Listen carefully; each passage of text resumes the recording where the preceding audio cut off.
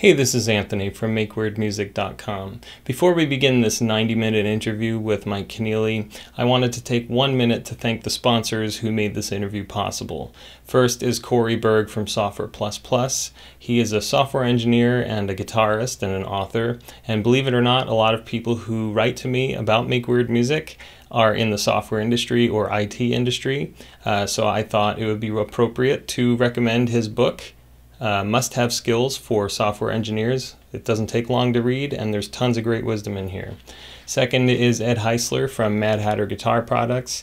I have one of his solderless tone shaping kits in my Ibanez JEM, and it makes a world of difference in terms of tone and clarity. Really great product. I also want to thank Carl King for all of his help with the interviews and uh, hardware and ideas and just general inspiration. I also want to thank Will Mejia for all of his design work. I really appreciate everything he's done from the Make Weird Music logo to helping me out with design ideas to even uh, titles in this video.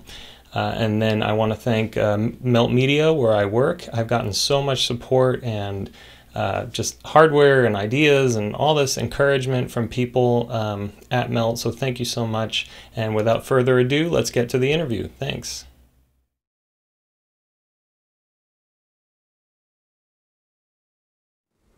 Are we rolling? Cool. All right. So this isn't doesn't need to be formal or anything. I just want to have a conversation. So that sounds cool. I don't know how to start these things. let's, let's, let's, try a formal introduction. Yeah. Hi, this is Anthony from MakeWeirdMusic.com, and I'm here with Mike Keneally. You want to tell people about some of your background a little bit? Okay. Um, I've been uh, a musician since age seven, uh, so that's 46 years. Oh my God! And um, played with Frank Zappa in the late 80s and uh, Dweezil in the 90s, Steve Vai in the second half of the 90s. Um, been working with uh, the group Dethklok since 2007 and uh, Joe Satriani since 2010, and I've been making solo records.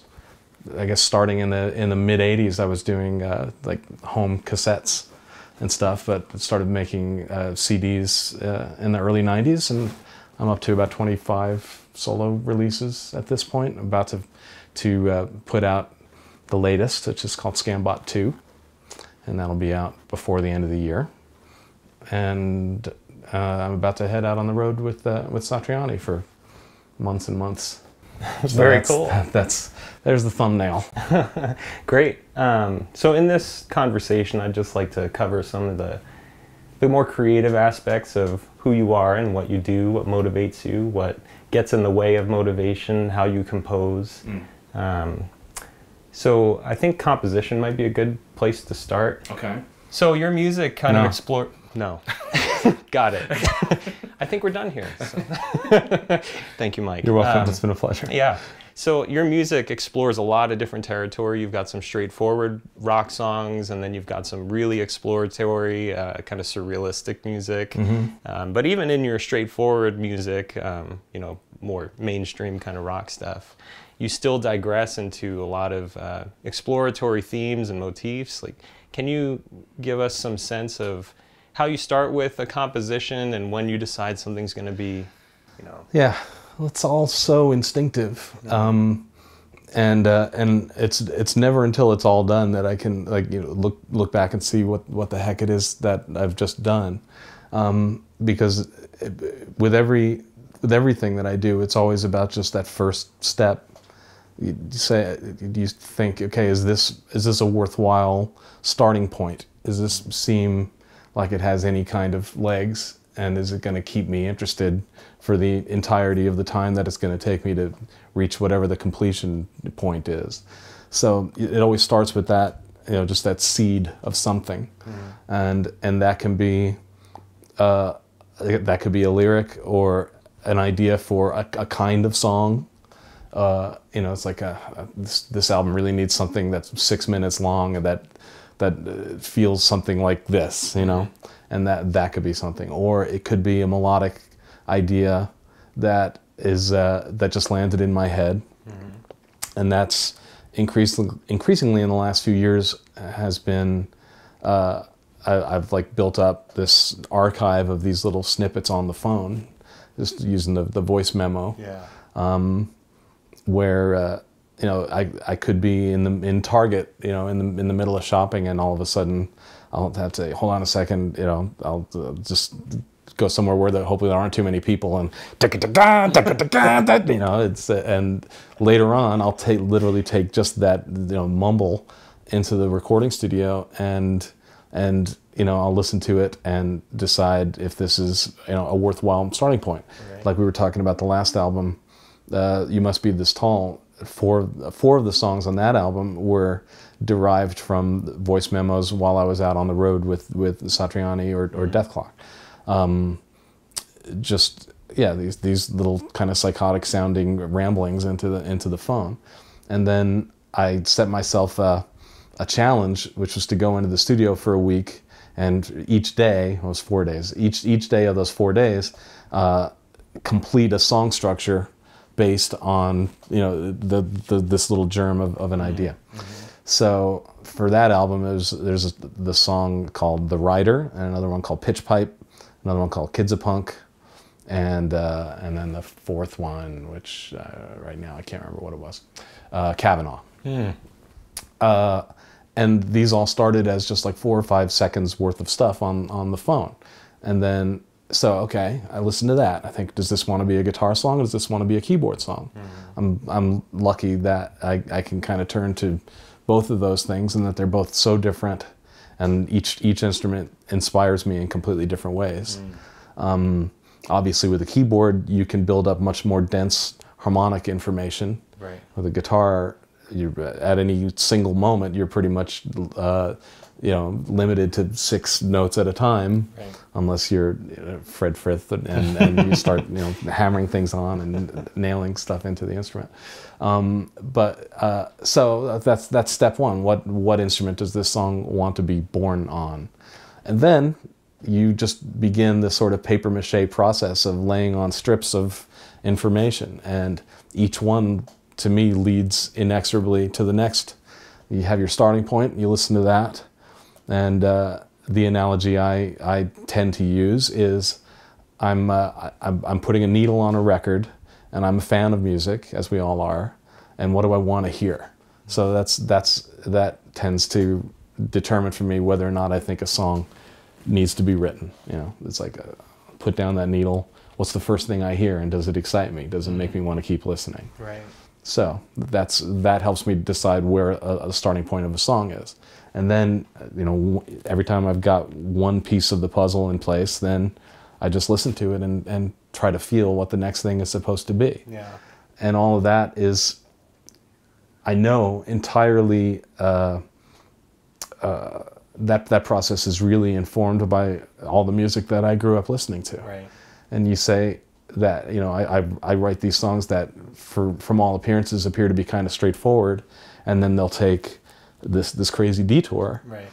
and that makes sense to me because I grew up loving the Beatles and the Rolling Stones and Alice Cooper but then at a certain point I started hearing Frank Zappa and then it, things started to get even weirder. I started Right. listening to Beefheart, listening to The Residents, listening to Henry Cow.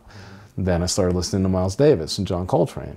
But at the same time, I love Bob Dylan. I love Simon and Garfunkel. Right. I love Joni Mitchell. Uh, I love Sly and the Family Stone. You know, yeah. so all the and and it's all equally valid to me. Right. So to me, it it fulfills something uh, that is uh, exciting to me to, to allow all these influences to, to exist on an on an equal footing. Uh, so when I when I uh, let something into a song that, that seems kind of anachronistic compared to what has been in in the song prior to that point, that's it's just me and it's always just answering the question what does this need? How how do i best serve this song? Right. um, and also to not have it feel like a pastiche of all this music that i love but hopefully it all gets synthesized into something that is me. And the, the more albums i've done the more i think what i am has, has kind of crystallized more. So then the challenge is to not be too influenced by myself because, because i get really restless when i when i think i'm repeating myself. So Right. That's that's you know the additional challenge every every time I, I'm trying to write something or record something. Does this sound too much like something I've done before? And if it does, then I'm not. I kind of lose interest, you know. Yeah. And then I'll either abandon it or I'll try to find ways to subvert it and turn it into something else. Do the uh, does the computer play into how you compose, or are you primarily on the instrument when you're composing? Um, I, I the computer really is is a huge part of it increasingly. Uh, at least it has been. Um, which is in in the sense that yeah I'm I'm obviously I'm I'm playing an instrument and just about everything on my records is is played in real time. I'm not doing very much. I'm, I'm doing very little in the way of sequencing and and uh, and uh, you know there's there there will be some some drum programs maybe some manipulated uh, drum patterns. Uh, but then I'll I'll edit the heck out of them and turn them into something else than, than what they were when they went when Make they went yours. down. Yeah. Um, but there's there's no doubt that it's increased the flexibility factor so immensely that that it's affected the um, the songwriting process hugely. Um, it- because now uh, uh, arranging and you know com- composition and arrangement and mixing are all sort of taking place at the same time. Right. Uh, so you're not just writing a song; you're crafting a final product, uh, and that can take a long time. Like this, the, the album that I'm that I'm just about to master uh, or have mastered by John Golden, which is Scambot Two, has been in the works f- forever. uh, some of the songs uh, that are that are well, I mean, the, the earliest music was actually recorded in 1999, and then uh, a lot of it was recorded while I was working on Scambot One back in like starting in 2005, and then a, a big chunk of it was was you know created just over the last couple of years. But that process of like putting all the elements in the right proportions, you know, from the from the standpoint of somebody who's really interested in sound and really interested in arrangements and layers, you can go way way down a rabbit hole with that Right. which is uh, part of the reason why it, I've been working on this album for such a long time. But I've been working on other albums while I was working on it. You know, the, the, Scambot 2 was in the background while I was doing You Must Be This Tall and Wingbeat Fantastic and and uh, and Scambot 1 obviously and and uh, and the Bakin' at the Potato and the the thing with Marco Evidence of Humanity and all, all this stuff. You know, it was was that those were foregrounded projects, but Scambot 2 was happening in the background, and I was just sort of like nudging it forward the whole time.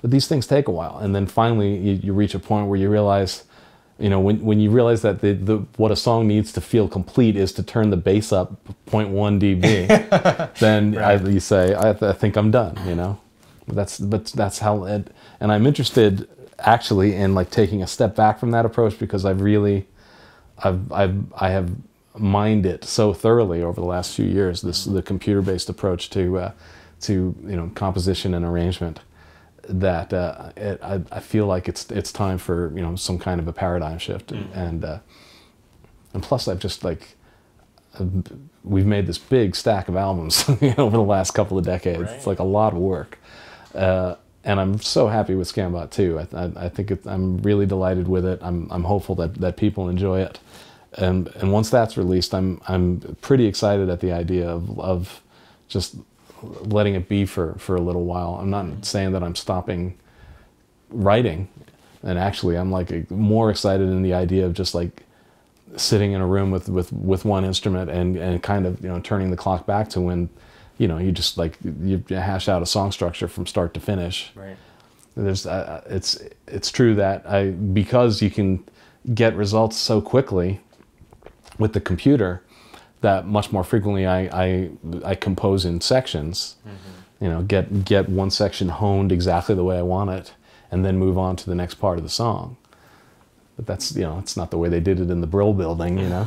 so I'm I'm and I and I realize that it has an impact on on the on the the final result. You know that you get a different result when you uh, you, I guess sort of discipline yourself to just say, okay, I'm gonna I'm gonna write an entire song structure from start to finish, just mm. sitting here with nothing but a guitar Right. or nothing but a keyboard, and I'm finding myself eager to get back to that approach, which is you know much more the way I did it back in the days of like my first albums, Hat and Boil That Dust Speck and Sluggo.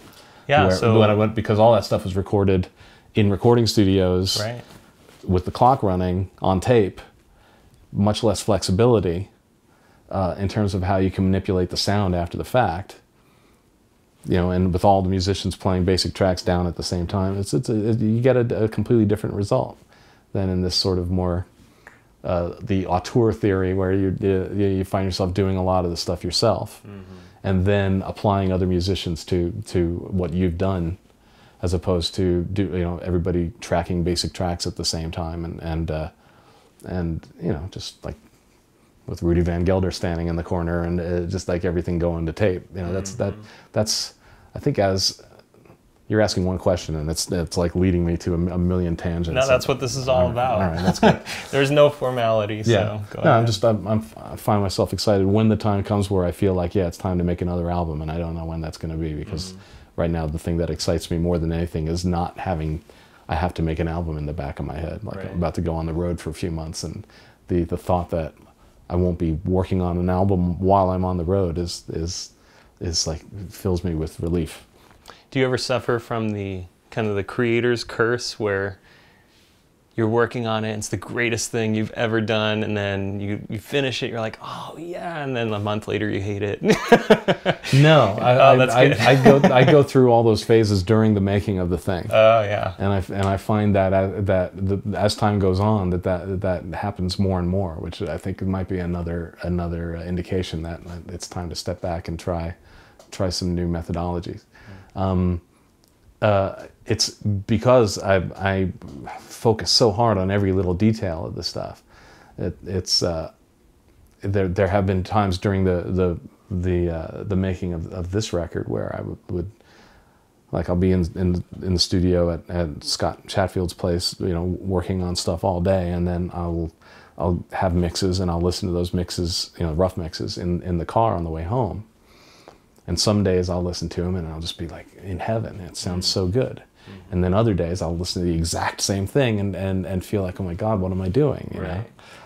know? Um, once it's all done, you know, once I, I get everything to a point where I know that it feels done to me, then I can listen to it, you know, months later. And, mm-hmm. and uh, even though I might by, by that point be in a completely different place, I can understand where I was when I when I signed off on it and why it felt done to me. But you know there are there are albums that I that I've completed and released. You know, obviously you look back over the discography and you, you know some rise in your estimation and some some fall slightly in your estimation, and sometimes it doesn't have to do with the music itself, but it might be extra extra musical mm. uh, components right. that, that that color the experience. Right. Uh, uh, and sometimes it's just like the sound of a record that I might have been really happy with. You know, like Dancing is an album that's a, lot of a lot of people's favorite album of mine, and I find it the hardest to listen to of, of, of all my work, even though there's a lot of really solid songwriting on there and yeah. great performances on there. But that's one where it was such an ambitious project. I had an eight-piece band. It brought them into an analog recording studio and captured most of the album live. Mm and then minimal overdubs, and then very very short time to mix it. Mm-hmm. Um, and I think that that's probably the thing that that is is uh, you know if if I'd if I'd had the luxury, which we didn't because studio time was expensive, to uh, to uh, you know do remixes of the songs that for whatever reason didn't float my boat. You know, and at, but at the time too, I was like I was like in a in a in a state of mind that was that was uh, you know, I, I, was like just really full of piss and vinegar at that point, and you know, sure that I was practically doing God's work, you know, right. um, and and so there are aspects of my mindset at the time that I look back on with almost disbelief now, you know, mm. like I feel like I was self-deluded in in, in some pretty significant ways. Mm. Um, but the result of it was an album that, for some people, is like might as well be the only album I ever made, you mm. know. So it, there's there's at a certain point you have to let go. You know, right. it's like I, am You just have to create the work to the best of your ability at that moment. It's the only thing you can do. Yeah. You, you can't suddenly become somebody else. You, you are you at that moment, for better or worse. And then, of course, you go through life, and there are changes. And and you know, when you look back on the work, you might find that you you know you would do things very much differently now. But that's whatever. Right. But you wouldn't know that yeah, now yeah. unless you did it the way you did. Yeah, yeah. I just tell myself done is better than perfect, and I yeah, know I can tweak all day long with the computer, but I'm doing that for me. I'm not doing that for the music, you know, Yeah, my well, I own mean, I'm- idiosyncrasies or in my head, I honestly do feel like I'm doing it for the music. Uh-huh. that like that all these little tweaks are are and and just because the songs are are you know are have layers and they're intricate and there's there's a lot of stuff to manage.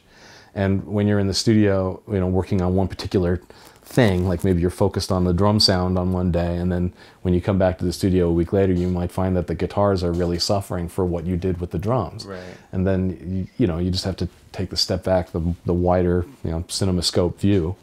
And uh, but the only time is the only answer to that. The only way you can uh, you can uh, hope to corral all these elements at least for me because you know I just like my my ambitions are are are, are kind of big uh, musically. That's the type of stuff that I'm that I'm trying to do, and, and to and just to balance all the the, the stuff that I, because what what I'm trying to do is is like yeah I, I want the material to to pay off close attention. You know, like I want it to be dense, but I don't want it to be so dense that it doesn't make sense. I don't want it to sound cluttered. I just Right. I want it to I want it to have layers. You know, I want it to be something that's worth diving into. But uh, overall, I want the, the the the listening experience to be kind of smooth in a way. You know, Right. so and uh, that's that's a and I think I've I've probably you know approached that ideal with with the Scambot two mixes more than I did say on You Must Be This Tall, which is a is an extremely dense record and and maybe ultimately does have some some cluttery stuff.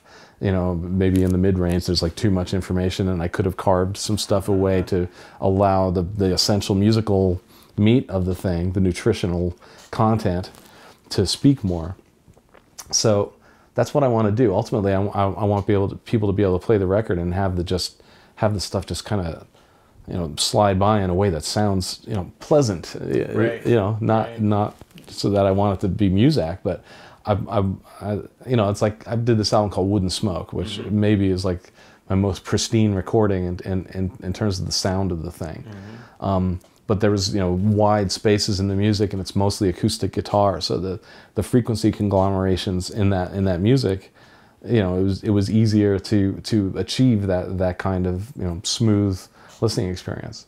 So what I'm trying to do these days with uh, with Scambot 2 is is to take sometimes some very hectic musical information, but ultimately kind of boil it down so that it coheres in the same kind of way that that Wooden Smoke did, and it's it, it might be a complete fool's errand, you know, but that's that's the that's the kind of conversations I'm having in my head.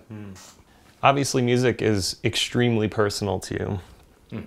Hmm. Um, just hearing the way you talk about your music and what it means to you, it's it's near and dear to your heart. You, it's your life's work. It's your passion. Um, what uh, like, how do you how did you go from listening to music and loving music and kind of emulating usually the phases of creativity are enjoying and then emulating and then you kind of find your own thing. Um, can you tell us a little bit about that? You said you started music when you were seven and Yeah, uh, well, my my parents sensed before I did that, that there was that there was probably something worth pursuing in me musically, and I I was uh, I was singing all the time when I was a kid, and uh, and I was listening to music all the time when I was a kid. And it was the '60s, so uh, and I had a, a, a teenage sister, so she was listening to Beatles all the time which and then I started listening to Beatles all the time, especially at the point where they became too weird for her. uh, uh, you know, once the, when you start getting into Revolver and Sergeant Pepper and whatnot, Right. and that stuff fired my imagination so heavily. Um, so it, I was I was really involved with just just listening to that music, and it kind of ruled my life. And I didn't think of myself as a musician or a potential musician at all. Um, but on my seventh birthday, there's there's an organ. You know, my parents got me this organ, and I didn't uh, I didn't question it or even it, it, it just instantly I realized, oh, that's that's correct. you know, yeah. that's that is exactly what's supposed to, that's what's supposed to happen right now. Mm. And I and I walked up and I started playing Paint It Black. Mm. Uh, just by ear. Yeah, and because I was it's it's a keyboard, you know, and I looked at the right. keyboard and it's so there's the music, you know. Yeah. Um, so that that was like a really perceptive thing on on my folks' part. That if they hadn't just sensed that that was something that that should have happened, that might it might not have ever happened. Right. Who knows? Um, and then you know, four years later, I, I got a guitar because I was I was very enamored of mostly guitar-oriented music. At the time that I got the keyboard, I was like super excited about it, but I was still like really in love with the Beatles and everybody, all these guys who were playing guitars. But then, you know, when I was about nine years old, I started hearing Emerson, Lake and Palmer, and Keith Emerson was mm. Maybe my first musical hero from a strictly, you know, sort of instrumental standpoint. Right. Because I'd already been playing organ for a couple of years at that point, and I didn't necessarily think of organ as a as a delivery system for you know particularly modern music. Right. Uh, my my teacher was was uh, teaching me standards from the 30s and 40s. You know, was, that was just eye opening because I, I, thought that you know that the organ was that you were only supposed to play Begin the Beguine on it. You right. Know? Just like these these really you know these standards that were really useful for me harmonically because they're really actually dense harmonically. A lot of altered chords, a lot of strange information in the in the in the in the backing of those of those old tunes. Plus, it it it got me uh, on this path early on with this, this idea of doing multiple things at once because of the organ. You've got you're providing melody with your right hand and you're providing harmonic content uh, backing with your left hand, a bass line with your foot, mm. and uh, and if you got a, a, drum machine in the thing, you're basically a, a one man band. So uh, that kind of got me into the you know, it got me excited about just the layered aspects of music. You know, the, the fact that, that it's not just a, a, a two-dimensional thing, that you can go real deep with, with building a piece of music and, and, and trying to do as much of it as, as you can on your own you know, in real time. Right. And that, that, as I started playing the guitar, you know, that's just sort of another arrow in the quiver in, in terms of how many textures you can you can apply to music. And then my brother and I got reel-to-reel tape recorders. Mm. I had a, a, a, brother, I still have a brother who's three and a half years older than I am, and we were together uh, just like learning all these songs that, that we loved off of records and, and trying to record our own versions of them on reel-to-reel. So then we were learning about overdubbing and, right. and, and, figuring out how to do that. A quarter track or quarter inch uh, four track kind mm-hmm. of thing. And then a, and then a two track machine for for mixdown. Mm. Uh, so yeah, we were th- that was what I was doing you know, during the, the, the time period where all my friends had social lives and we, you know were going out and meeting girls and stuff, and I was like just fascinated by music. That's that was the most in, uh, fulfilling, uh, uh, life enriching thing way for me to to spend my time. It's just listening to music, recording music, and then gradually just from the from the uh, experience of trying to record our versions of these other things, then I started to gain more interest in in, in composition. Mm. And then, you know, initially at first, you just write things that sound exactly like like songs right. that you love, and then. Right and then it's just a process of, of refining, refining, refining, and and uh, and gradually finding something that sounds like you, you know, right, your own voice. Yeah, and uh, as you were finding that voice, were you finding that like there were things you you were hanging on to that prevented you from really getting there? Um, you know, like old habits or like parts of songs you just loved and you kept reusing, like things you had to just say no, to? It's just, it's, I guess the, the, the toughest one was just this this endless fascination that I had with Frank's music, mm. uh, you know, and no other composer had that degree of impact on me, and and things that sound like Zappa sound so obviously like Zappa that that once they start to get in, into your own music, it's like it's there's there's there's no way around it, you know, and uh, and so and obviously when when I started making my own records, people, anybody who knew who I was, came at me from the from the Zappa angle initially, um, and then that's like that's an additional sort of motivator in both directions. It's like, well, if I if I put out this music that has these kind of obvious Zappa textural signifiers in it, that will be appealing to the audience that, that, that came to me from from Zappa. Right. And you know, and maybe they will tell their friends, "Oh, if you like Zappa, you're gonna you're gonna dig this." But then, obviously, you're you're trying to create something that has some kind of of a of a, a fingerprint on it that is that is you, and not too heavily reliant on on uh, on one's influences. And especially in my case, Zappa was just so so huge in my my life. You know Right. uh, from the from the time that I discovered him, you know, or that he was like introduced to me when I was nine, uh, I couldn't believe that he existed. You know, it just it was like a dream come true when I first heard his music, and I was obsessed with him growing up. And then I got in the band, and and and he placed this big big imprint on on my whole existence. So it's kind of inevitable that is going to leak into my music, you know. And there are still times where, you know, when you're when I, I'm trying to create something, and it, it, I just keep asking myself the same question over and over again: What does this moment require hmm. to reach its f- fruition? And there are times where it seems like the only answer is is something that sounds very much like something Frank would have done. you Right. know? So then it's just about okay, do I do I stick a marimba sound on here or not? You know, it's like it, it's the perfect timbre. It's the it's the perfect attitude for some melodies, Right. uh, and uh, and in some ways it's like, damn it, why can't why can't I use a marimba? You know, because the moment I do, it's it, it's It's Zappa. yeah. yeah. so that's it's just this this dance that's ongoing. You know. So over the years, do you feel that your music represented a point in time, or do you look at your catalog and, and say like you you've been navigating and finding yourself, and and the follow up question is like when you hear what you're doing now, do you feel like this is more me than ever, or this is me for now, and those other pieces were I, I. I think the latter. You know, I, I, I believe that at, at, at every at every every point along the line, I, I was I was attempting to be as much me as I could possibly be.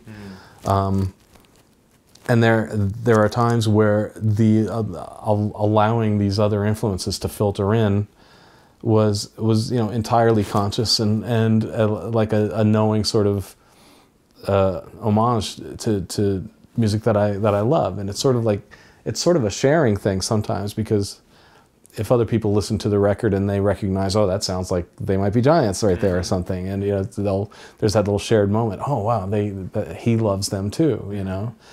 Or you know, Gentle Giant was a huge, huge thing for me, and there are still times where that kind of architecture seems to be the the best way to approach an arrangement. You know, these sort of interlock, interlocking moments where a guitar does something and it's answered by a, a keyboard, which is then answered by a bass, and then it becomes this this uh, this you know this construction.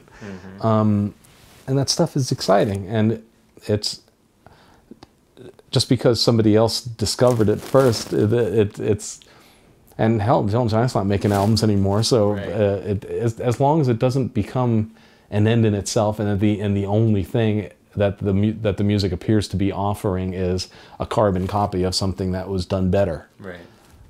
As if if you are allowing in a in a, a kind of a loving way, or at least this is what I tell myself, the, these these influences to come in, and uh, you know, partly because it's what the the song requires at that moment, and also partly as a as a, a conscious acknowledgement and tribute of you know beautiful things that have happened in the past, and hopefully still adds up to something new in the present. Then then. Uh, but you know, I, I, I- don't think about this stuff too deeply in the moment. I'm just, I'm, a lot of it is just trying to have a good time. Yeah, you know, yeah. you're just trying to enjoy yourself, and and, and music is fun, and and and when you uh, uh, are dealing with a tricky passage and all the the myriad choices how to maximize the potential of this passage Right.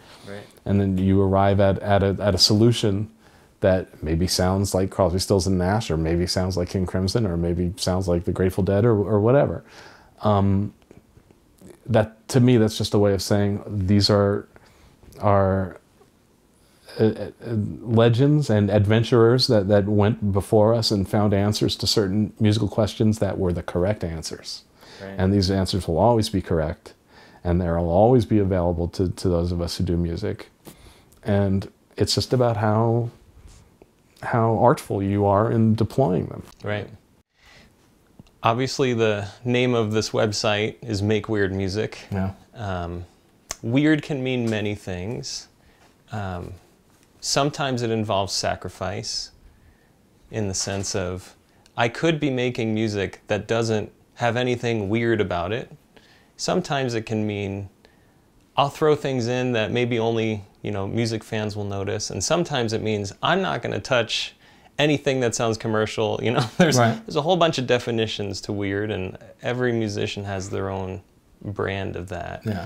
How do you how do you like see your music and explain it? And do you feel like um, like you are a weird musician in any sense? I do, uh-huh. uh, and I I think that the, the the that's been shown to me by the the response to it. Uh, uh, that even when I I think I'm doing something that's quite commercial. Mm. Uh, you know, and at at the this is something that comes with with time and with age and perspective. I look back at songs that I may have done 10, 15 years ago and thought, why isn't this a massive success? You know, why would this not be on the radio? Right. And then, you know, now I listen back and compare it to anything else that was on the radio, and I realize, well, it's because you didn't do this, this, and this, mm-hmm. and because you did do this, this, and this. Mm-hmm. You know, there are, and it, it is, it's funny because you can get away with a lot of weird stuff, but there's, and still be commercially successful, but there's that there is still like a the sort of base uh, uh, requirements to to get away with it. You know, like sonically, people will handle a lot of strange noise these days that would have been very off-putting in the past, and I think that's that's a function of, of just the craziness of life nowadays. People, you know, everything is is weirder than it used to be, um, and as I think as long as you got you know a certain kind of production and a certain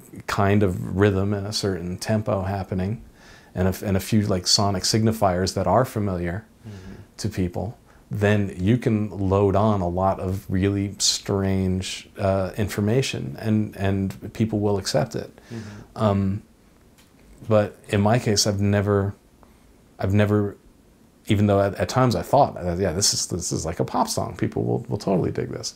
But you know, I'm I'm dealing with with signifiers that I that I that combined to build me 40 years ago. You know, so to me, when I think pop song, yeah, that was that might have gotten on the radio in 1974. Right. Um, and and I'm not like going out of my way to familiarize myself with modern studio techniques and, and you know programming and mm-hmm.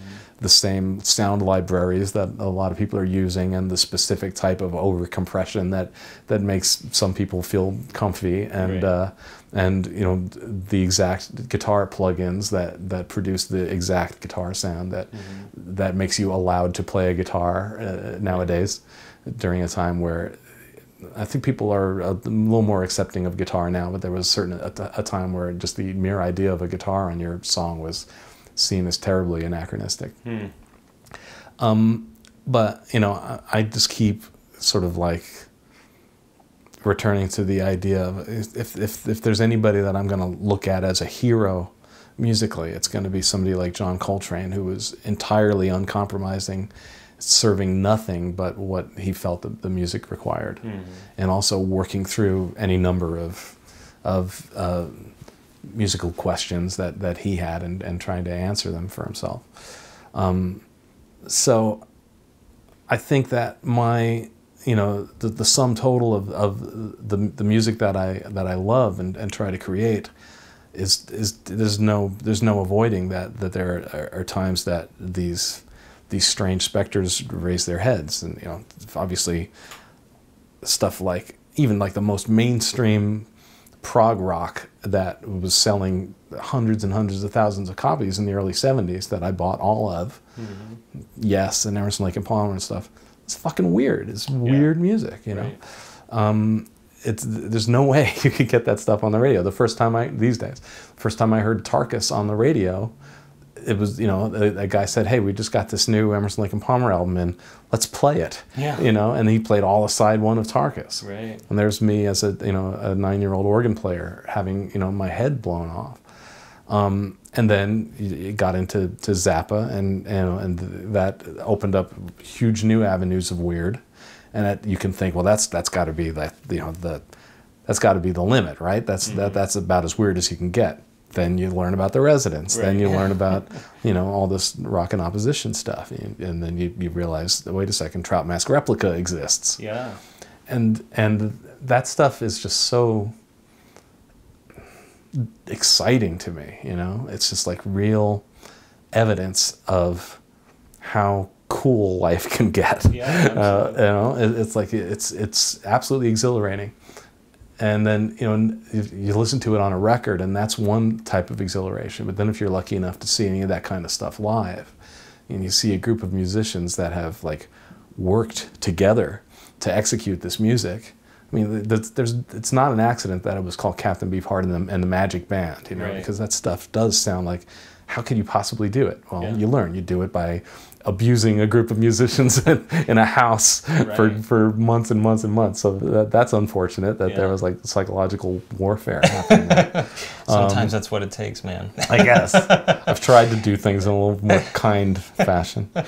Um, and, and having said that, I have to you know express my extraordinary gratitude towards everybody who has played my music over the years. You know, for not a tremendous amount of, of financial reward ever and to Mike Harris, who has engineered, you know, has been there in the studio with me every moment of all this insane detail work on, on my records for the last many years, and to Scott Chatfield, especially, who has given his home and his time and his money and, and his heart to so many of the projects that I've done. Right. And there's no way that I, you know, I mean, obviously I could just be sitting here with, with the laptop and making all kinds of weird shit, but it wouldn't have the same quality of sound, and I don't think it would have reached you know people in nearly the same kind of way. Mm-hmm. Um, so you know, at all times, I'm I'm dependent upon you know other people being willing to you know help me make this stuff come to pass.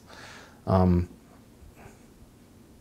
so I'm so grateful for that. But but the and and especially given how weird this stuff can be at times, right, you know, it's right. like it's like it, they're they've been they've been help they've been helping me uh, you know, m- take these such strange little impulses and really arcane, just super, super idiosyncratic personal things, you know.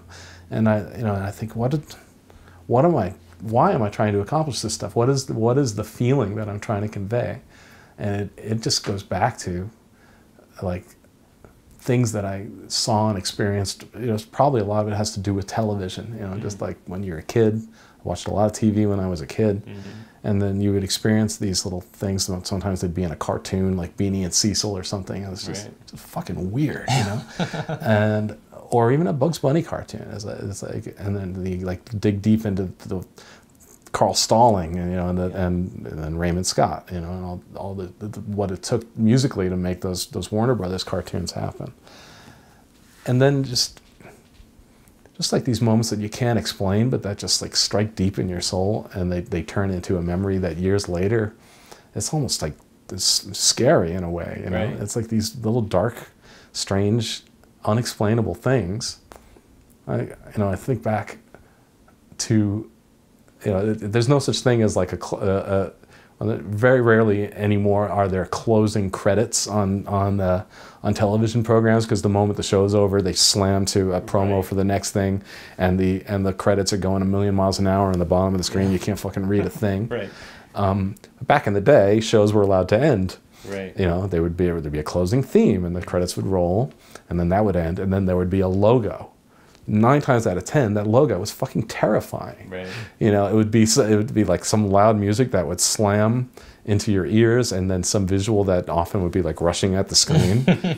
you know, so you are a four year old and you're being traumatized. Right. And that stuff has an impact. And and to this day I can still feel, you know, I still I get chills when I think about that shit. Yeah. And I and I have I think some of what I've been doing with the weirdness of some of my music, and maybe it's not kind or fair, is to try and and share some of that feeling. You know, just like do you do you guys feel this too? Do, do, can can I can I share this with you? It's like can I not be? It's like a way of not being so alone in the, in in that. You know, it's Right. like you know I almost feel like those the, those production houses were intentionally trying to hurt me in some way. but now, but I, I look back on it, you know, just like in the same way that I can wake up from a bad dream and be like, yeah, that was great, that was exciting. You know, mm-hmm. I look back on that with this this kind of perverse mix of of you know fear and delight and gratitude that I that I have such strong memories that that just like it's just the building blocks of your of your life are these memories you know Can be thrilling. yeah it's a, it's it's like a thrill ride Right. all you know enclosed in one terrifying little screen gems Yeah. You know what i'm talking about with that with that stuff did you watch tv as a kid or were you like a non yeah. yeah I just found discovered some um, old TV themes like Buck Rogers in the twenty Mm. whatever century, twenty fifth century or something. right right The theme for that, and it suddenly brought back all of this. Like, yes, that's what I'm trying to do all this time. yeah yeah it's Like, I'm weird trying to do that again. It's know? strange how you know because television is thought of as sort of like low art. Yeah. Although you know it's obviously not the case anymore. You know, there's there's obviously a lot of people are recognizing that a lot of the work that's being done for TV is is like is, goes deeper, and because it's a long form thing, you know, obviously Breaking Bad can accomplish more in, in five seasons of insanity than than than any two hour movie Right. can hope to. Right. Um, so I, I don't I don't think necessarily there's this reflexive uh, bias against television, but it's I, I think a lot of my uh, aesthetic was was formed by mainstream entertainment in the Right. '60s Mhm. and, and and '70s. Yeah. But at the same time, you know, as, as as I you know expanded my horizons in the stuff that I was listening to, it just became this bouillabaisse of of the most you know obvious mainstream TV stuff with as as much of like the weird, peculiar underground stuff that you could find on records. Right. And then comedy, you know, like alternative forms of comedy, was a huge thing for me too. Like I was so in, intensely involved with trying to understand every bit of of what the Firesign Theater were doing and mm-hmm. what Monty Python was doing and National Lampoon. And and then you know at- later on Mr. Show, which I'm sure we ended up Oh, hanging yeah. out watching a lot of that Definitely. that stuff is like as as rich to me uh, and layered and exciting as as you know any number of, of really intricate musical experiences Talk about Negativland. and Negativland which which absolutely combines all of it Yeah. you know that that and uh, when I, when Don Joyce passed away a short time ago, and, and I saw Mark uh, Hosler had had posted how much he was inspired by the Firesign Theater.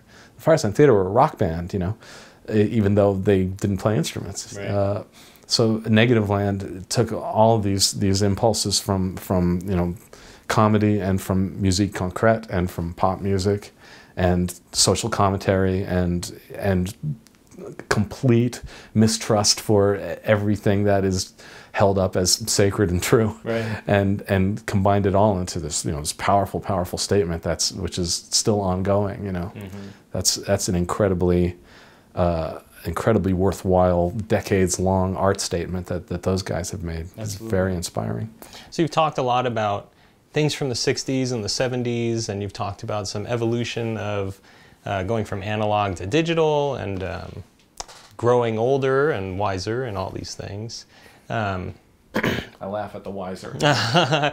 So um, the lay of the musical land today is very different than it was 10 years ago, which is very different than it was when you started.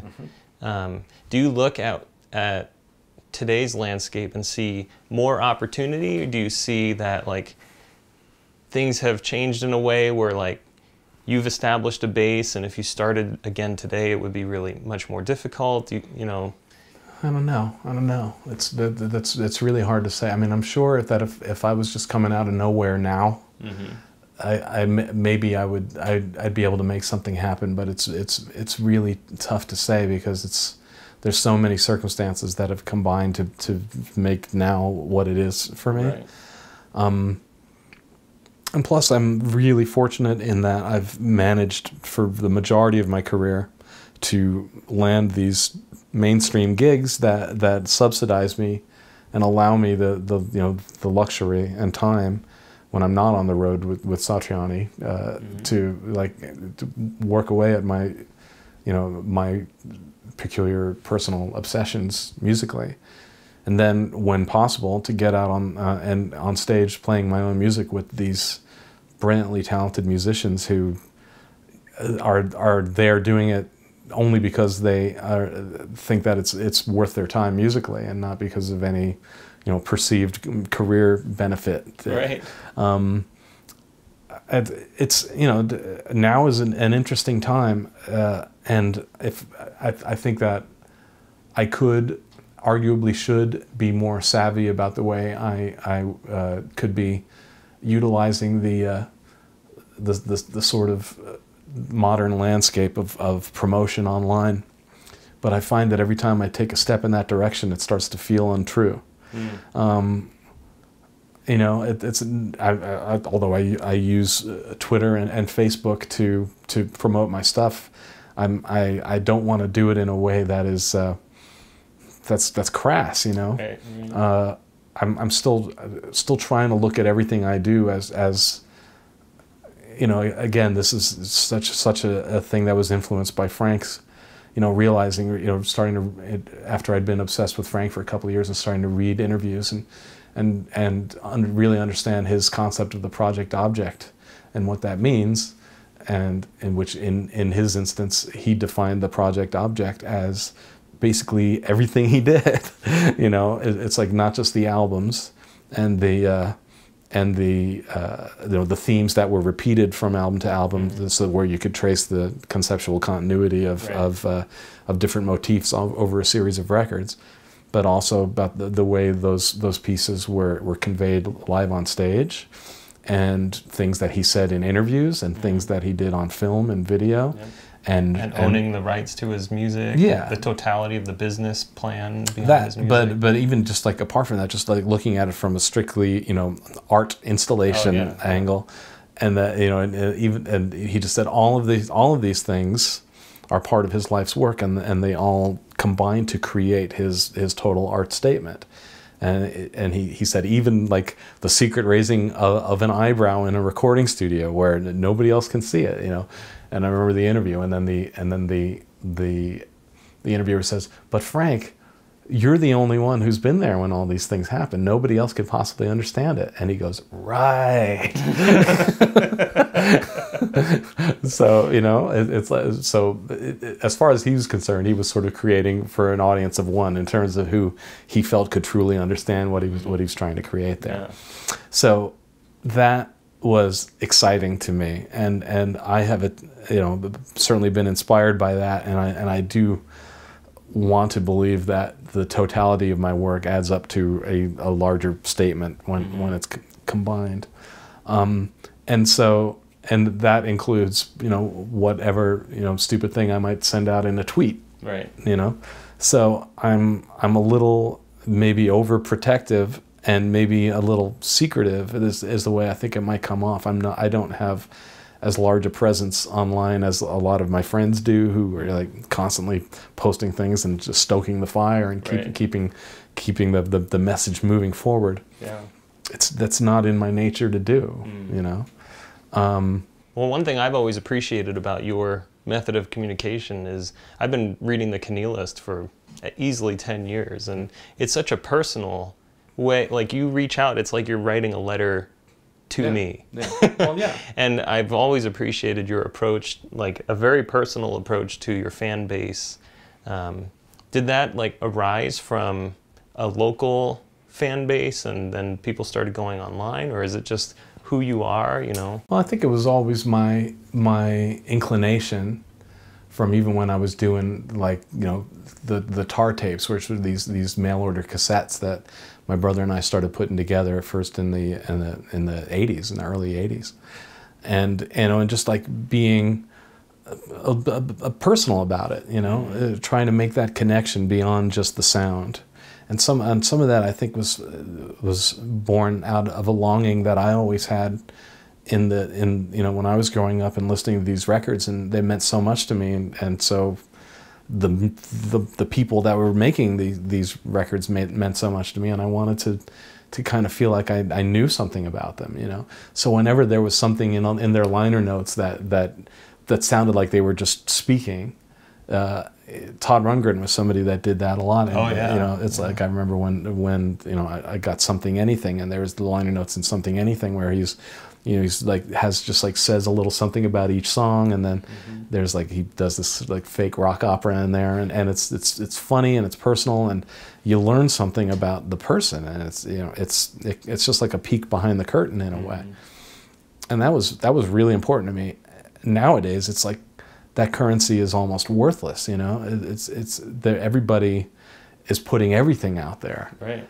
so it's it's it feels like it feels like it's more valuable to withhold a little bit, you know. Um, and, and so it, it, I, my my inclination over the past few years, as the, the the tools have been made available to reveal all, has been kind of to reveal less and less, and, and, and try to let the, the music do more of the talking for me. Right. Uh, but the Kenealist is is you know an example of one platform, one location and it's obviously preaching to the choir because we're only talking about those however many thousand people that have subscribed to the mm-hmm. to the mailing list. It's not it's not necessarily an outreach project. It's more just like staying connected to the people that you know we're just, just so grateful to have like continued to pay attention after all this time because mm. it's it's now you know it's 23 years since my first album came out. It's a, it's it's it's a lengthy career, and that's that's you know one good thing about doing this kind of music is I, I think you know that when you do weirder music as you as you call it you're going to not reach as many people but I think that the people that you do reach it it it it connects with them so heavily that that you that they stay with you longer. Right. It's not an ephemeral uh, uh, following. It's it's it's not it's not a fashion based thing that's going to go away necessarily anytime soon, unless you start putting out albums that really suck. Mm-hmm. And that's the other part of it. It's like I really. I really don't want to be an artist, and there are so many where you can when you look at their newer work and say that is absolutely empirically inferior to stuff that they did 20 years ago. You know, it's like I try to keep my standards really, really high, and and and that's you know that's why the more albums you make, the harder it gets in a way. If you if you're dead set, uh, uh, you know, on not repeating yourself and on, on keeping the, the quality at a at a, a certain level. And it's not about topping what I've done before. And I never put out an album and say, yeah, this is better than anything I did before. I mean, that's, I look back on some of the albums, I look back on Sluggo and I just think, man, there's just like everything just kind of fell into place right there, you know? And it was, I was at a place writing wise that it, that's like I don't know if it can ever be replicated, you know. But all you can ever do is you know try to write the best stuff you can and try to play it as well as you can and record it as well as you can, mm-hmm. and, then mix it as well as you can and end up with a with a, a project and a, a statement that is that is going to reach people and touch people somehow. So I keep doing that and doing that and doing that, and that's why now I feel like I, I need to take a breath because I've you know there's this huge stack of albums that I've made over the last couple of decades and you know not to be it, it in some ways it kind of reminds me of when Frank broke up the Mothers of Invention in the late 60s and mm-hmm. and he did it in a kind of a bitter way and he said like my audience wouldn't know good music if it bit them on the ass, and and I'm gonna I'm, I'm not gonna make any do any more you know work until the the audience has has assimilated what I've done to this point, you know. Right. And then I think it was probably you know a week later he was making another record, right. and I I definitely reserve the right to suddenly feel like oh I got to make another record, yeah. but I just want to like take that moment of, of you know, that breath where I say ah I'm not I'm not I don't have the, the you know the word album and big neon lights in the back of my head for a little while. You know? Right. And I, I suspect I'll be you know writing songs and stuff when the, I know I will when when the uh, when the the the, the muse hits, but I, I, I want it to just I want it to be more like a a caveman approach where it just happens when you're sitting around the campfire and, and, and this music comes out because it absolutely has to and not Right. not necessarily that you are you know working to to fill in the blanks of this this album length statement. Um, and it is true I've I've done a whole lot of albums that a whole lot of people haven't heard. And I would be happy if if uh, if there was a way to you know just like take a break from constantly creating new stuff and, and find a way to maximize the the visibility or at least you know increase the visibility of the existing body of work because there's so much of it and I do think that there's stuff in there that a lot of people would like if they Right. got a chance to hear it so Yeah. so once once Scambot is is is truly done, then maybe we'll take a look at at, at ways of uh, of uh, you know dealing with the catalog in, in, in such a way that maybe we increase its its uh, its profile somehow. Yeah. But you know, it's I'm ultimately I, I'm really looking forward to just like because I'll be on the road for the majority of the next year with Satriani, and I, I feel like I've it, it's time for a little breather uh, where I can just like be a guy in, in Joe's band and, and uh, you know, and I'll have a new album to promote because Right. Scambot 2 will be there and they'll, I'll be doing interviews for that and trying to get people to listen to it. So it's not like I'm going to be making believe like I don't have a solo career, but in every case, when I've finished an album over the last couple of decades, I've, I've been thinking about the next one, you know, or it's already been in the works. Like Right. ever, ever since, you know, 2008, I guess, every time I finish an album, I'm, I'm like, uh, you know, already like part of the way towards recording the next one. Uh, so with with Scambot 2, I'm I'm essentially clearing the decks. We've we've we've created two albums worth of music. There's Scambot 2, and then there's a second album of additional music recorded at the same time. Well, m- all of which was at one time or another considered for inclusion on Scambot 2, and uh, and but you know Scambot 2 crystallized into the thing that it is, and then I ended up with this other you know, big bunch of music besides that forms a, a perfectly acceptable album on its own right, Right. which is actually what You Must Be This Tall was. That was all music that was created at the same time as Wing Beat Fantastic. And most of the songs on that album were at one time or another, I was trying to slot them into Wing Beat Fantastic and they just didn't fit. You Right. know, Wing Beat Fantastic wanted to be this really sleek, 40 minute, for me, pop album Mm-hmm. And then all the the twisted stuff you know landed on this other album where Right.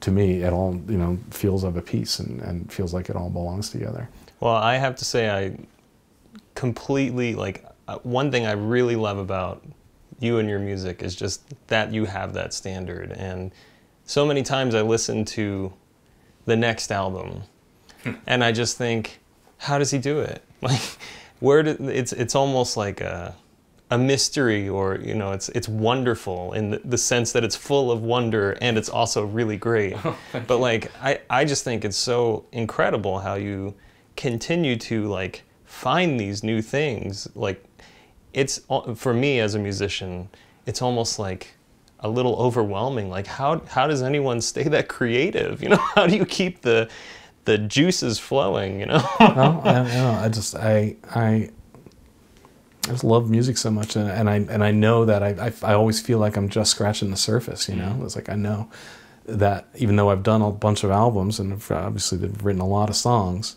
that I I I feel like I'm just like just like that far along in terms of what can be accomplished and, and what I would like to accomplish musically.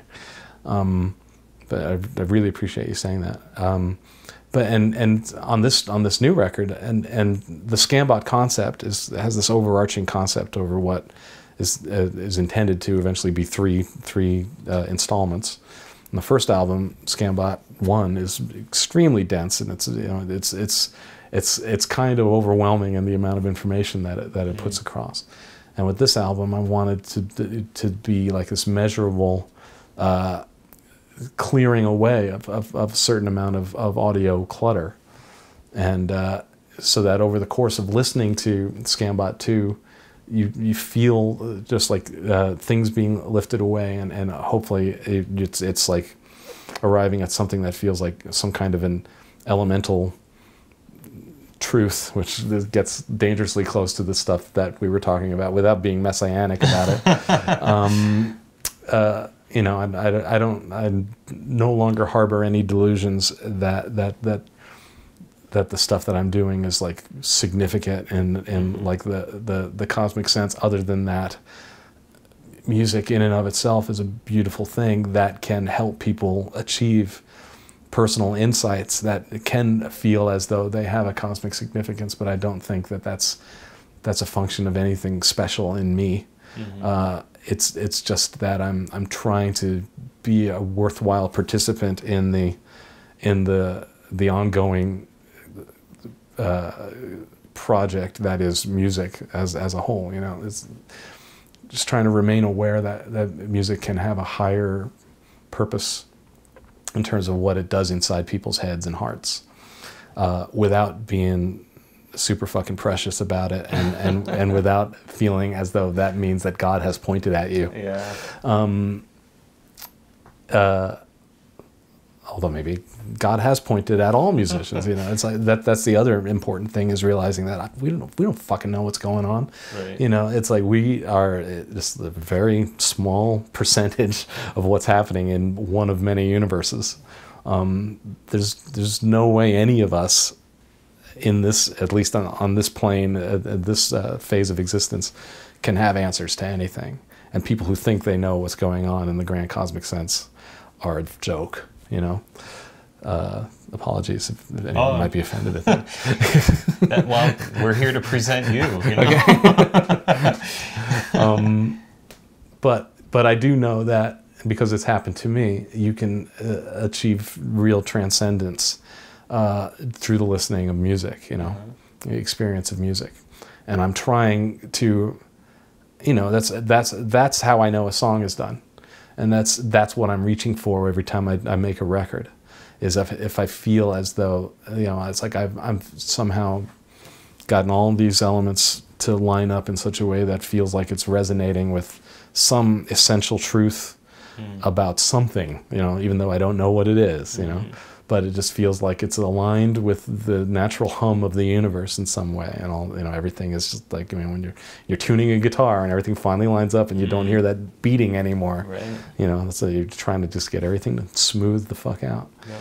um, so that's that's that's when I say yeah that song is done and that's album's done that album is done when I can listen to the album from start to finish and it all feels like it's vibrating that way That's cool.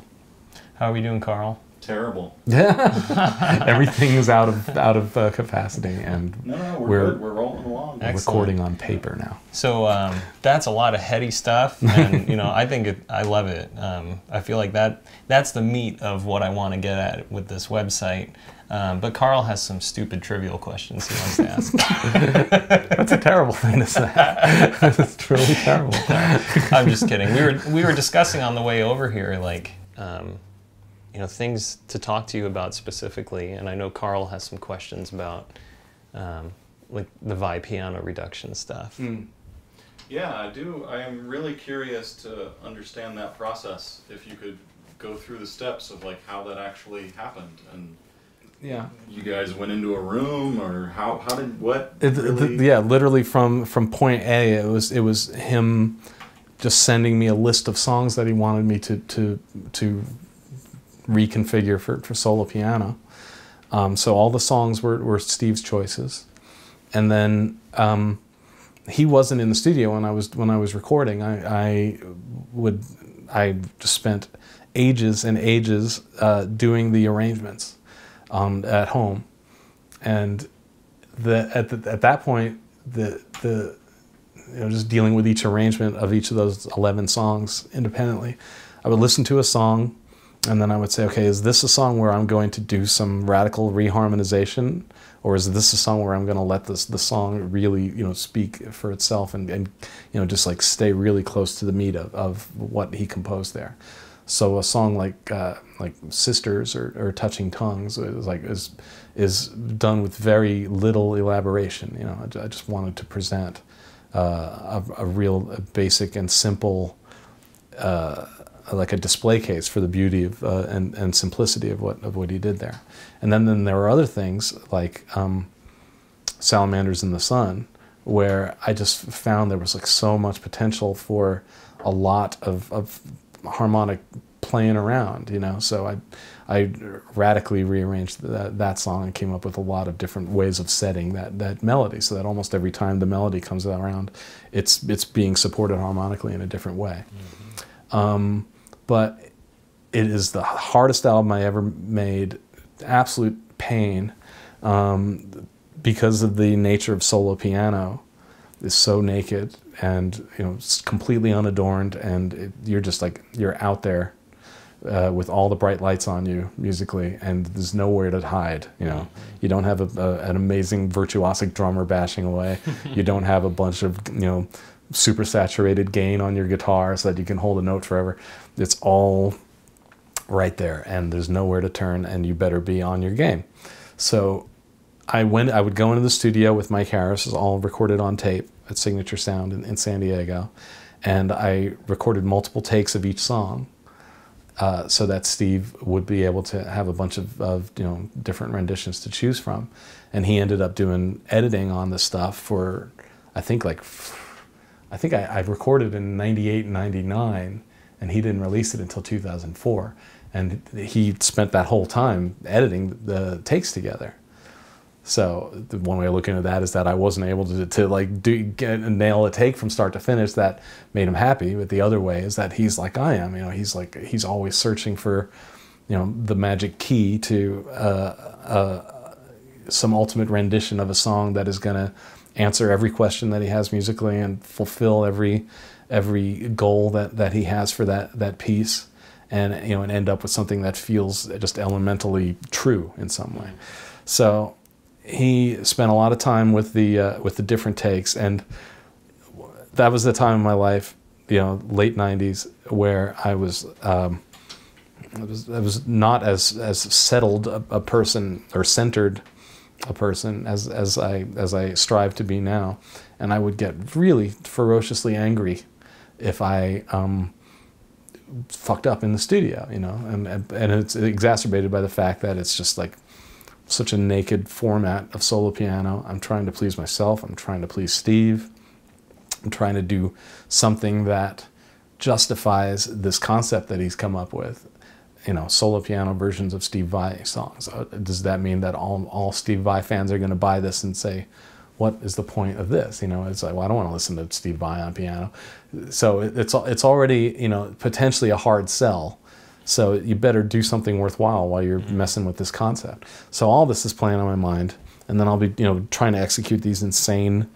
Uh, uh, you know, manipulations and and uh, uh just combinations of movements that I've come up with, and you know, and my and my training is as an organist, keyboard wise. So I'm I'm used to the luxury of you put your hand down and mm-hmm. that chord will hold for nine and a half hours if you wanted to.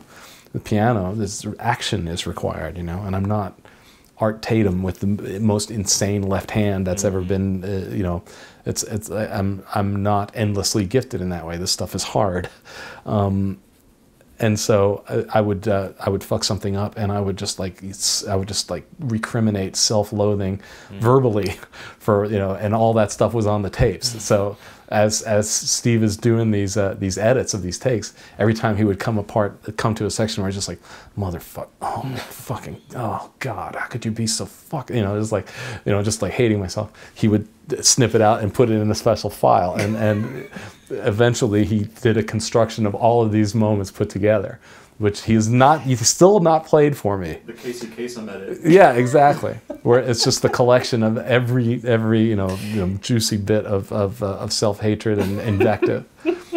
Uh, Saving it for a special yeah, I don't know. Occasion. Yeah, it's like I was like, I, I, I, it's like I'm terrified to hear it, but but uh, I know it's got to be an entertaining listen. but uh, ultimately, I ended up with an album that that both of us were really really pleased with. You know, I was you know, I gave him the recordings and then I didn't hear them for five years when, until the album came out. So I, all the time I'm thinking, is it any good? Is it any good? And then, you know, it came back with the, the, all the edits and constructions that he'd put together. And I was grateful to find, yes, there is value in this thing. You know, it's, it's, it's, it's not an embarrassment. And then he was just incredibly generous uh, with the things that he said about the record and, and had indicated at one point that that's the record he reaches for when he wants to listen to Steve Vai music, you know. So I was like that's all you can hope for. So then he wanted to do a second album, and and and I you know I got into to uh, um, you know he sent me another list of songs, and I did arrangements for the first two pieces, and one of which was Under It All, and the other one is Ooh. Uh, and b- both of which are you know in, incredibly lengthy, intricate, multi-leveled, multi-episodic uh, creations. Long solo in ooh. Yeah, which I learned on the piano and reharmed and did all this crazy stuff. Wow. Uh, and you can see them on YouTube because in 2010 there was a uh, there was a Vai festival in Groningen, Holland, uh, where you know he he premiered some orchestral stuff and there were other artists doing stuff and I came on and did some of the arrangements from the first album and then a premiere of some of the stuff from the second album to be. Uh, and actually, I had to leave a Satriani tour to go perform on this festival, and because I, I signed up for to do the festival, and then I joined Joe's band, and it just so happened that they conflicted, so I had to arrange for a, a, a, a sub uh, for the, the two or three Satriani gigs that I had to miss out on in order to go do this festival, which I really wanted to do. So I went and I did these. I, I did the the live uh, premieres of actually three new Vai arrangements, which were Under It All and Ooh and San Sebastian. San Sebastian I never really finished to my satisfaction. Um, and then I went back to the tour with Vai, and then more touring with Vai, and then go out on the road with Dethklok, and then I got albums to make, so I'm making those albums. And this the, the Piano Reductions Volume Two just kept getting pushed back, pushed back, and it's it's not because I didn't want to do it, although it is a very painful thing to do. Um, at the end, I think justifies the means. At least in the case of the first album, I was very happy with the way it turned out. But I found with the second album that I was torturing myself to do these arrangements, and I still wasn't finding myself with enough time to do them properly. You know, because it takes dedication and weeks and weeks and weeks really thinking about nothing but that. And financially, there's no way that it would make sense for Steve to pay me what it really would require for me to not do anything else and, and de- devote all my time to that. So I regrettably said to Steve, you know what, I don't think I can do the second volume. And he, you know, bless him, he totally understood. And, uh, and he, I had, since then I saw online this, uh, this young Japanese woman who does amazing solo piano versions of, of Steve Vai music. She actually contacted me on Facebook. And it was right around the time that I was starting to have these feelings like I didn't think I could do the second record. So I said, "Hey, Steve, do you know about this girl?" And, and he goes, ah, "You know what? Actually, I do." And and uh, and so he's been you know working with her now. And I think that that if if there is a Piano Reductions Volume Two, it'll actually be her doing it, which I think is great. I like the idea that the that the concept can you know mm. can continue to exist even when I'm not there. Mm. And I also am extremely relieved. I can't tell you what it took out of me to do that first record. It's Oh. absolutely the hardest thing that musically I've ever tried to do. I think it, it paid off though. And that's good. It, I was listening to it uh, two nights ago, and I, I played my wife Ballerina 1224, Mm. Steve's version, and then your version. And I said, "This is why Mike Keneally's a genius." Oh. and she said, "That's incredible." Well, I mean, it's it's it's note for note, even though a lot of those notes are generated by an Eventide thing. Yeah. It's note for note what what he did with the guitar, you Yeah. know, and that was an that was an instance of all I need to do on the piano with this is exactly what what was done on the on the the, the original recording, and it'll, Mm-hmm. You know, the magic will all be there. I don't, I don't, but yeah, but just it was it was insanity trying to learn that. So. I bet the Gentle Giant fugue stuff you probably learned over the years helped with that. Very Because I was listening to it going, okay, now that I've been trying to play like in a glass or um, experience, I'm like, now I get how that piece can happen. Mm-hmm. Yeah, no, that's true. I never would have guessed. and I never and I wouldn't have made that connection. But you're right. It's it's like that. I mean, I spent the year the the the, the summer of my 16th year was spent doing nothing but in my, in my room listening to Gentle Giant, learning every Gentle Giant guitar part, um, and just you know figuring out how it fits into this lattice work. You know. And that I know is like something that, that was that like laid a groundwork for all kinds of stuff that I've that I've been able to do since then. Um, but I am extremely grateful that that I managed to keep it together long enough to get one album of that stuff done, and I and I do regret that I haven't recorded uh, versions of the uh, of the the two arrangements that I did that I'm really happy with for the next record. But they are on there on YouTube you know, that people can can check out. Two other little questions about that. Do Mhm. you remember what kind of piano it was that you played on, and like how did that feel? Yeah, it's- you it's a s- mentioned somewhere in an interview like you felt like you were hitting it too hard or something like Yeah, I mean that was, that was that, that that was right in that sort of late '90s messianic period where I was like just like you full of feeling like I was conveying the the truth of the universe through everything that I was doing. This is what I was referring to earlier when I was talking about self delusion. um, so uh, I think that I got a little, you know, it's real easy to get into a, a, a, a thing where you've you are uh, self-aggrandizing and, and you know just sort of like advertising for yourself as opposed to to uh, serving the, the, the, the, the notes at hand you know and and performing as sensitively as as you can. And especially in in in, in this particular situation where I, I'm I'm dealing with another composer's work you know I've you know, and I'm not, I don't, it's not like I have a distaste for what I did there, but I would just say that by the time I heard that, I thought, you know what, I could, I could have been a little more sensitive in some, in some of the, the choices that I made in terms of just dynamics. But it's, it, it could also just be that because that's what Steve found to edit together to, to, to make the ideal versions that he could out of what he could. It may be that I just, I, I fucked up four takes and, and out of just sheer, you know, hatred of life at that moment. By the time I finally was able to execute it properly, it was this defiant "fuck you, I'm gonna play you right, goddamn," you know. And and you know, so by the time I actually finally played it right, I was just you know beating the hell out of out of the keyboard from anger. Um, and, and so that might be why, in some instances, that's that's the way that record comes off to me because it's like Steve collated, you know, where I finally arrived at being able to do the thing properly, and I might have been, you know, just like a little too much in in my head and uh, and and not, uh, you know, so it's like when you feel like you're doing God's work and you're doing it wrong, you can you can get very angry at yourself, you know. Uh, so, you know, it's just it's just sort of all kind of tied up in some of the weird things that were happening in my head at the time. Um, but yeah, just just that. By the time I heard the finished album, I remember thinking I could I could have dealt with some of that stuff with a more gentle touch at times. But the piano I used was the same one that I used on on Sluggo and uh, and uh, Nonkertompf and you know other albums that I was recording around that era, which is the, just the Yamaha Grand Piano. I'm not sure what the uh, what the model number is, but it's a you know it's a big Yamaha Grand at, at Signature Sound Studios in, in San Diego. It's a beautiful instrument. I, I recorded a lot of stuff with that piano. Is there a level of texture or um, harmony that you can use, uh, like in these um, piano reductions, that you can do with that type of music that you can't do with a rock band? Like, are you able to get extended? Because, like on Pig and everything, Mm-hmm. it's like so dense and so many things Sure. going on, so ugly, such ugly chords. Can you really do that with a?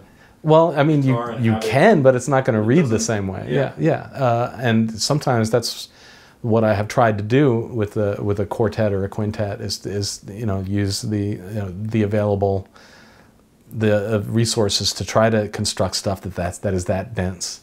But it is it is hard to carry off with guitars compared to a piano because you there's so many other. Uh, you know, sonic anomalies that, that, that enter into the picture with the amplifiers and, and pedals and strings and, and um, conglomerations of frequencies when you start adding guitars to guitars and things like that. You know, it's you can the yeah, it's another Frank quote. The the, the timbre rules basically. You know, the same exact chord played on a, piano is going to have a different message if it's played on a on a fuzz tone guitar, and a different again if it's played by a bassoon ensemble or something like that. It's uh, you know it, the the delivery system has a lot to do with what a piece of music ends up meaning. It's not just all about notes. It's, there's so many other so many other dy- dynamic and timbral uh, uh, elements that all play into the final thing.